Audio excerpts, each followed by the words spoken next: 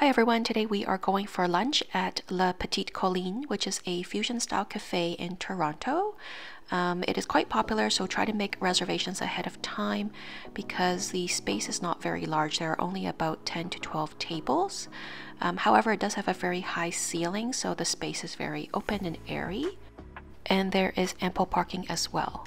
We arrived when they opened and were seated quite quickly.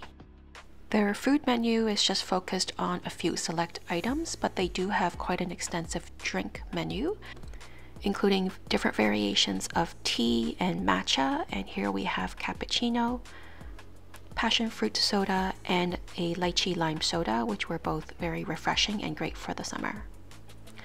In terms of food, we got two of their famous toast. I think most people come here for their toast, and a pasta dish and an omurice dish. With the omurice dish, it was with short rib and served on a cast iron pan. It was soft and fluffy and a little bit runny.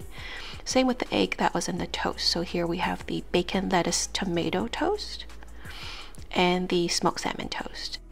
The best part of the sandwich is the bread. There are two very thick slices of their shokupan bread, which is baked on site, fresh every day very soft and fluffy.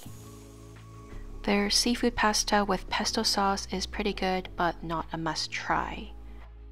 And before you leave, make sure to check out the on site bakery with all of these goodies. The selection is what you would find in a Western style Japanese bakery. And we bought some bread home. This is the sesame and sweet potato shokupan. You can see it's baked fresh, still hot, and when you cut into it, it's light and soft and fluffy.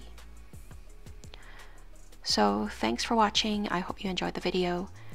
And please subscribe if you're interested in seeing more restaurant videos. Bye!